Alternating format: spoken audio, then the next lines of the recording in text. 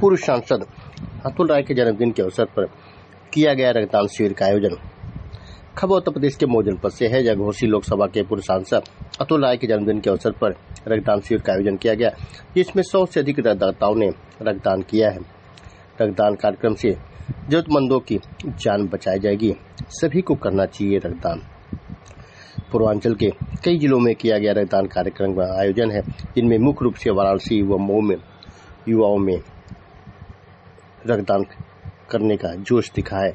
सभी से रक्तदान करने की की संदेश लोग बार बार ब्लड देते तीन महीने ब्लड देने से कोई दिक्कत नहीं होती है। हम लोग अभी भी अचंभित रहते हैं कि ब्लड देंगे तो कोई दिक्कत हो जाएगी तो कोई समस्या नहीं होती।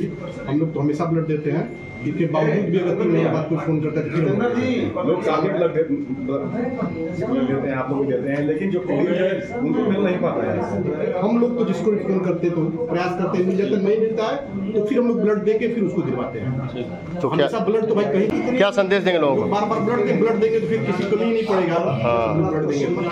ज़रूरी है जी उसी के लोकप्रिय किस कार्यक्रम के निमित्त माननीय कर हैं? जी के जन्मदिन के अवसर पर कार्यक्रम आयोजित किया गया। जी आज भी ब्लड डोनेट किया जा रहा था। हम्म? आज वही कार्यक्रम चल रहा है। कि- अब तक कितने लोग डोनेट किया गया देखिए ये पूरे पूर्वांचल में कार्यक्रम हो रहा है लेकिन हमारा जो खास तौर पर से मऊ और बनारस में और यहाँ हम लोग नियर अबाउट एक सौ आठ के लगभग ब्लड डोनेट कराएँगे। ये कार्यक्रम हर साल किया जाता है? जी एकदम आपकी है साथ ही हर साल होता है कार्यक्रम। किस उपलक्ष्य में कार्यक्रम कराया ये जा रहा घोसी के वर्तमान सांसद माननीय अतुल राय जी के जन्मदिन के अवसर पर उनके चाहने वाले ये संदेश है कि ब्लड डोनेट आप लोग अधिक से अधिक संख्या में बढ़ चढ़ कर भाग ले।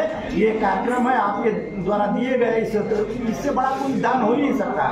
ये आपके द्वारा दिए गए इस दान से किसी की ज़िंदगी बचाई जा सकती है और ज़िंदगी सबकी अनमोल है तो इससे बड़ा कोई दान नहीं है। ये मैं सबको आह्वान करूँगा कि वो लोग आवे और अधिक से अधिक संख्या में ऐसे किसी भी कार्यक्रम में भाग लेकर ब्लड